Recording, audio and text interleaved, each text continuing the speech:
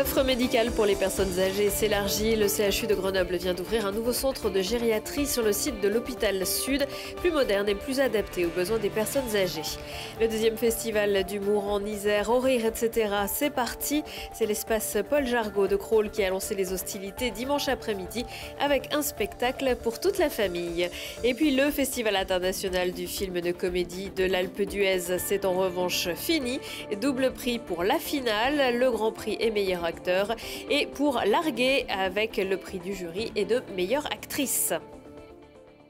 Bonsoir à tous, ravi de vous retrouver dans ce JT du lundi 22 janvier 2018. Toutes les heures à partir de 18h, c'est 10 minutes pour faire le tour de l'actu du Grand Grenoble. Comme 19 départements, l'Isère reste en vigilance orange, pluie, inondation, avalanche jusqu'à mardi matin.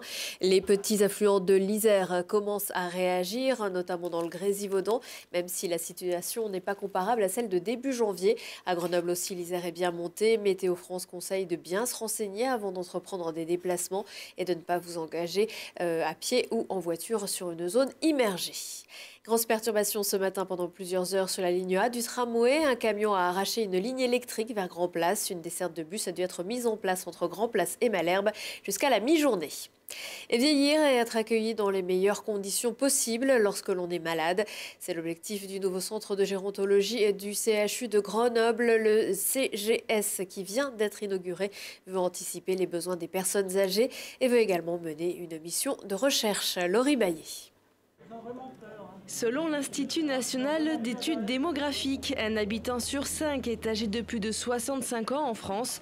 Le Chouga complète son offre de soins et anticipe les problèmes de dépendance. Un nouveau centre de gérontologie ouvre ses portes. Ce centre euh, a été euh, rendu nécessaire par euh, le fait qu'il fallait relocaliser un certain, nombre de, lits qui se situaient à Saint-Imier et une partie dans des locaux vétustes sur le site de la Tronche. Alors au total, il y a 245 lits avec euh, des activités qui sont différentes. Euh, pour une part, des patients euh, qui relèvent du secteur d'EHPAD et également des patients qui relèvent des unités de soins de longue durée. Le nouveau centre de gérontologie sud est un véritable lieu d'hébergement et de vie. Il propose une prise en charge globale des patients. Ce sont des personnes qui sont là de façon euh, définitive. C'est leur, euh, leur nouvel habitat en fait. Alors du coup, ben, ce sont des lieux de vie. Hein. donc euh, il y a des chambres qui sont très accueillantes. On aura l'occasion de les visiter. Et puis aussi, ce sont des, des lieux de convivialité. Hein. donc il y a des salles à manger, une par étage et une centrale. Et puis aussi des salles d'animation dans lesquelles les personnes pourront avoir des moments de loisirs, de cinéma, de jeux, etc. Pour les courts séjours, les consultations et la réadaptation médicalisée, c'est le centre nord de la Tronche qui accueille les patients. Le coût de ce nouveau centre, 20 millions d'euros. À l'initiative du ministère de la Culture, la deuxième nuit de la lecture se déroulait samedi soir un peu partout en France. C'était le cas par exemple à la médiathèque de Fontaine où avaient été conviés lecteurs petits et grands mais aussi musiciens. Même chose à la librairie Nouvelle à Voiron où les mots et les sons faisaient bon ménage réunis par le cercle des lecteurs de l'association Agora Peuple et Culture. Une émotion, particulière pour ceux qui lisaient et pour ceux qui écoutaient. Le plaisir de toucher un livre papier. Bon, au début, j'avais honte devant tout le monde. Après, j'ai pris le courage à lire devant tout le monde. Et alors, est-ce que ça te plaît? Est-ce que tu recommencerais? Euh, ouais.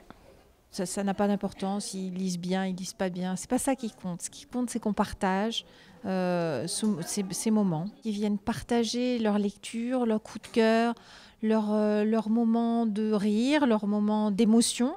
Euh, voilà, et ils viennent partager avec les autres en toute simplicité. Bah, je suis venu vraiment par hasard et c'est très intéressant, l'ambiance est très agréable.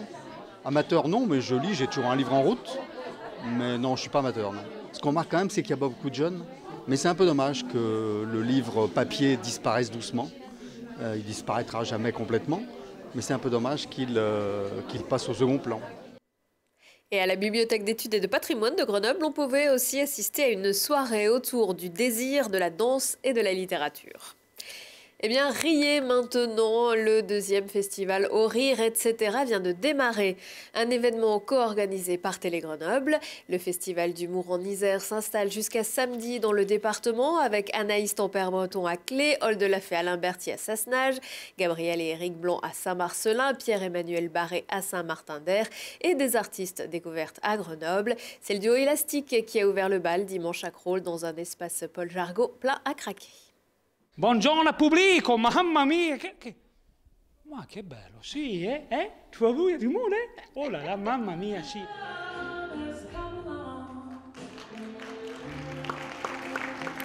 C'était la première fois qu'on venait, c'était un vrai plaisir. Oui, c'était un grand plaisir, un public chaleureux. On a eu beaucoup de plaisir à jouer ici. Puis une salle complète, ça fait toujours plaisir. Ouais, une, une équipe technique, les organisateurs, tout ça, vraiment très gentil. Donc, euh, on peut dire que ça s'est très bien passé. Très peu de texte et puis beaucoup de, de visuels. Il fait la partie euh, comique et euh, il fait rire beaucoup les gens. Se retrouver sur la, sur la scène, sur la piste, pour, euh, pour exprimer bah, différentes techniques de cirque et de musical, avec évidemment toujours avec des fins humoristiques pour amener des situations drôles.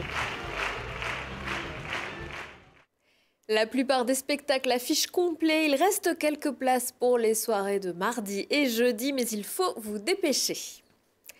De l'humour sur les planches à l'humour sur grand écran, le 21e Festival international du film de comédie de l'Alpe d'Huez s'est achevé samedi soir, avec notamment la présence de Jean Dujardin et Mélanie Laurent, venus présenter leur film Le Retour du héros. Le jury, présidé par Franck Dubosc, a décerné à l'unanimité le Grand Prix à la finale, réalisé par Robin Siquès, avec Thierry Lhermitte, qui n'était pas là pour recevoir son prix du meilleur acteur, et Ryan Bensetti, double prix également pour Largué d'Héloïse Lang, qui repart avec le prix du public et le prix de la meilleure comédienne pour Camille Cotin. Le doudou obtient le prix spécial du jury. Du côté des vainqueurs, exceptionnellement cette année, personne ne s'y attendait.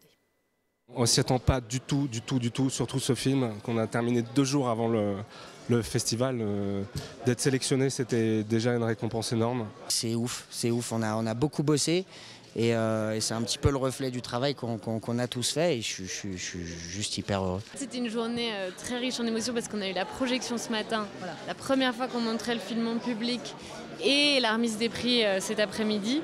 Donc voilà, c'était un peu euh, les montagnes russes euh, émotionnelles. Comme à un concert où tout d'un coup l'énergie elle, se communique, les gens entre eux partagent quelque chose alors qu'ils ne se connaissent pas forcément et, le film répond, enfin gagne en puissance et prend une autre dimension parce que le public est acteur de s'en empare. Et euh, ce dialogue-là, il est, il est assez merveilleux. On est très heureux, c'est un bonheur. Vive l'Alpe d'Huez, vive la France, merci, vive le doudou, vive la comédie et vive la cinéma Ah, ils sont tous, tous partis déjà.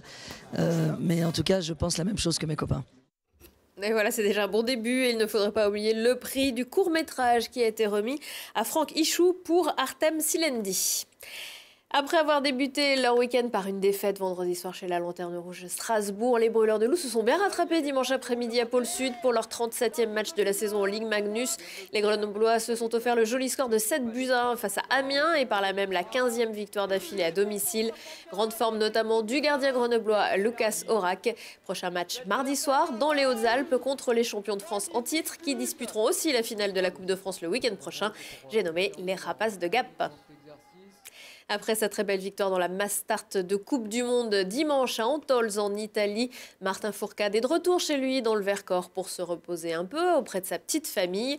Il a prévu de reprendre l'entraînement jeudi sur le plateau. Malgré deux fautes au tir, le biathlète français a survolé la course. Sa bête noire, Johannes Bohn, n'a pris que la sixième place. Une victoire de bon augure pour le porte-drapeau français pour les JO de Pyeongchang qui débuteront le 9 février.